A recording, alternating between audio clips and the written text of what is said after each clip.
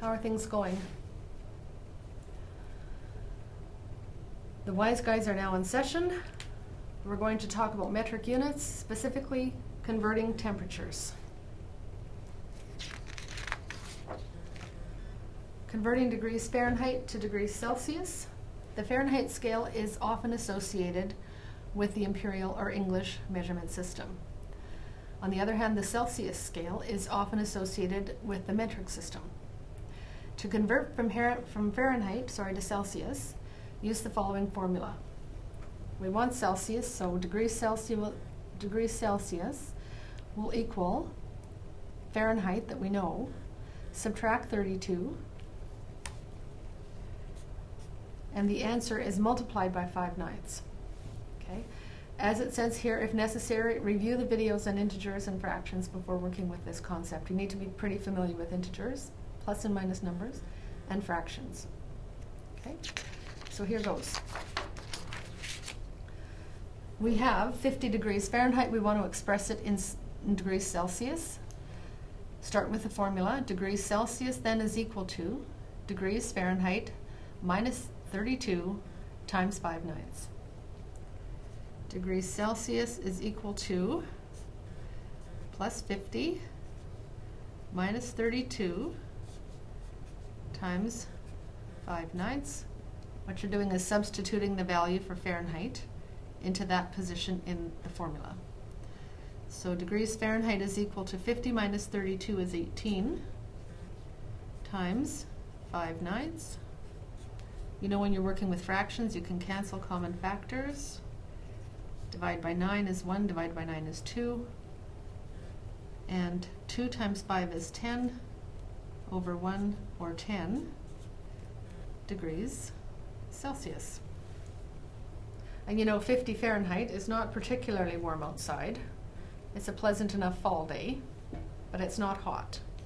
10 degrees Celsius is your corresponding Celsius measure. Here's another example. If we have minus 21 Fahrenheit, how can we express that in Celsius? Well, once again, use your formula. Degrees Celsius is equal to degrees Fahrenheit minus 32 times 5 ninths. Okay? Ready. Degrees Celsius is minus 21 minus 32 times 5 ninths. Substitute your Fahrenheit value into that position in the formula. Minus 21 minus 32 is minus 53 times 5 ninths is minus 53 times 5 divided by 9. Minus 53 times 5, wait a minute, minus 53 times 5 is 265 minus 265 divided by 9 divided by 9 is 29.444. 29.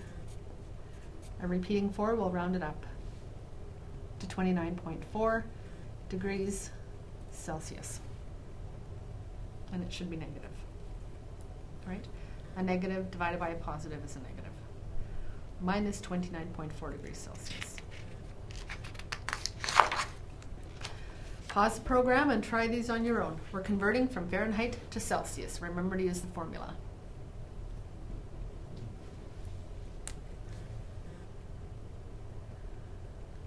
Okay, let's just remind ourselves of the formula. How did you make out with those? Remember that degrees Celsius is equal to degrees Fahrenheit minus 32 times 5 ninths. Okay, so if we have minus 10 degrees Fahrenheit, degrees Celsius will equal minus 10 minus 32 times 5 ninths, which is minus 42 times 5 divided by 9. Minus 42 times 5 is equal to minus 210 minus 210 divided by 9, 23.333. Repeating 3, so we'll round it to 0.33. Minus 23.33 degrees Celsius.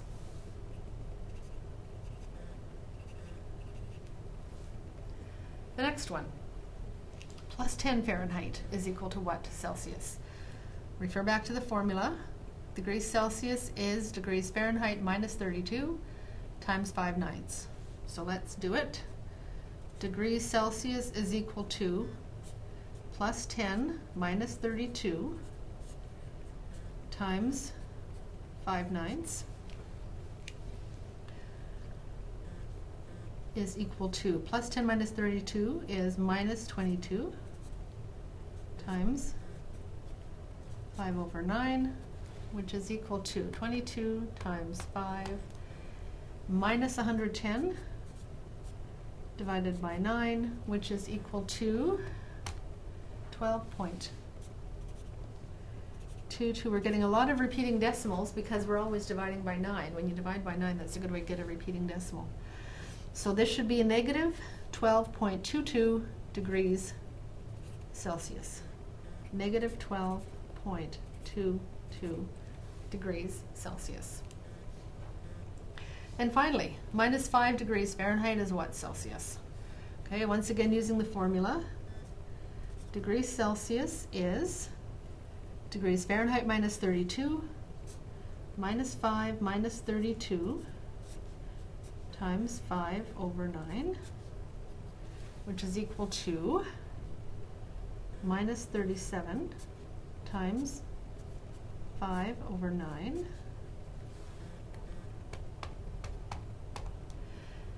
Minus 185 over 9 or 20.5555. Repeating 5, once again it's negative degrees Celsius.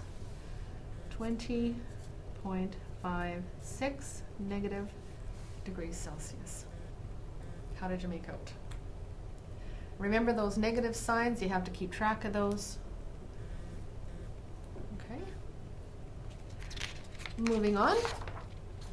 You can also convert from Celsius to Fahrenheit. and to do that, you reverse the procedure. If you know Celsius, you can calculate Fahrenheit by using this formula.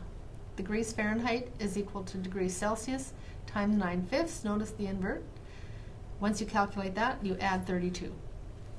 So for example, 100 degrees Celsius. Okay, well if we want Fahrenheit,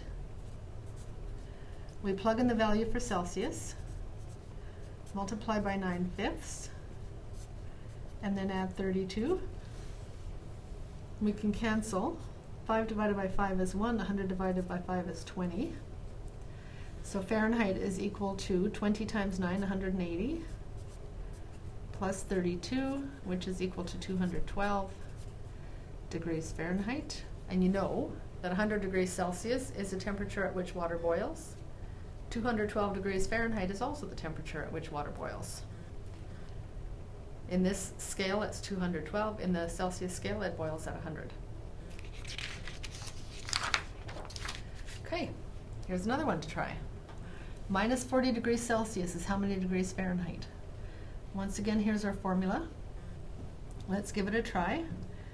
Degrees Fahrenheit, substitute the value that you have for the C, minus 40 times 9 fifths,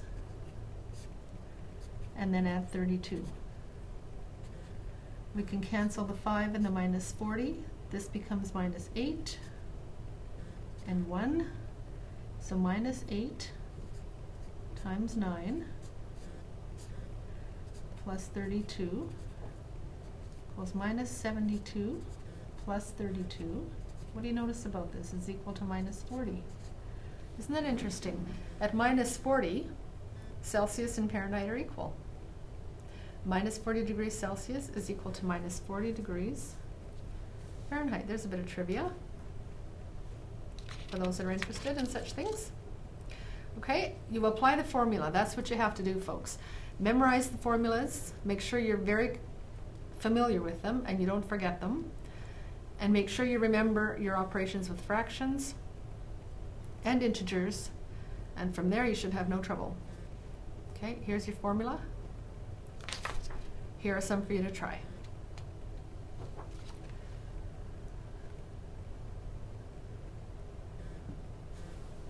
Okay, how did you make out?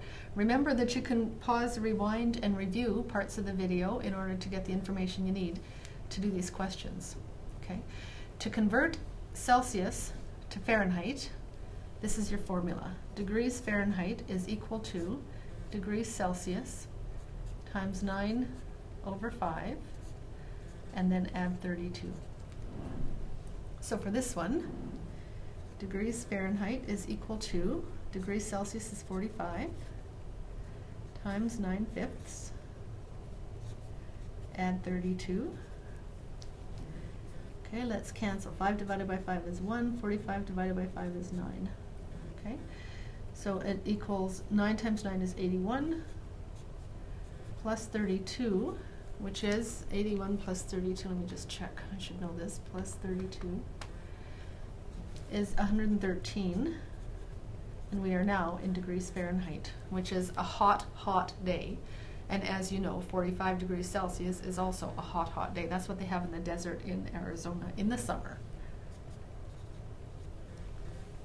Okay, minus 62 degrees Celsius, which is what they have in Churchill, Manitoba in the winter. Use the formula, plug in the values. Degrees Fahrenheit is equal to degrees Celsius times 9 over 5, and then add 32. So minus 62 times 9 is 558 minus 558 divided by 5, and then add 32 minus 558 divided by 5 is 111.6 minus plus 32. If you have a negative and you're adding 32, you're adding a positive number, your answer will be a smaller negative number, right? We're heading towards zero when we add. So this will be closer to zero than what we're starting with.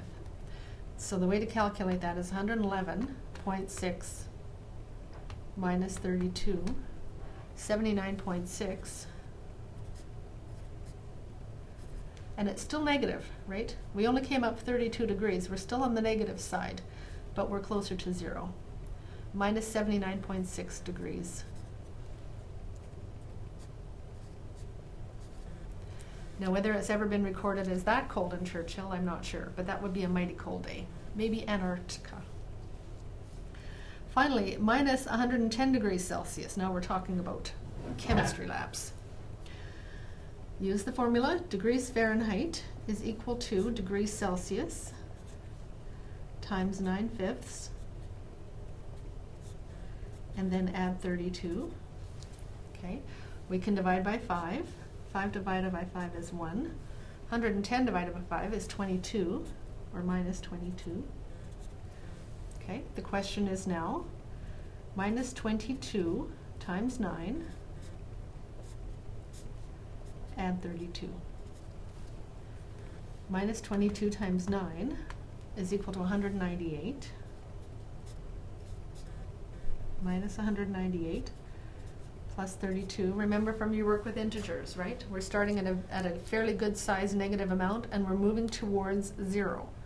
So the way to calculate this is 198 subtract 32, which is 166. But remember, we haven't reached zero. We're still on the negative side. We're closer to zero. It's a smaller negative number, but it's still a negative number Okay, minus 166 degrees Fahrenheit. Okay, if you're straight with converting temperatures, good luck with that. Remember, you can review, you can rewind, review, practice, give yourselves a chance to learn it, memorize the formulas, and you should have no trouble. This has been a presentation of the Wise Guys.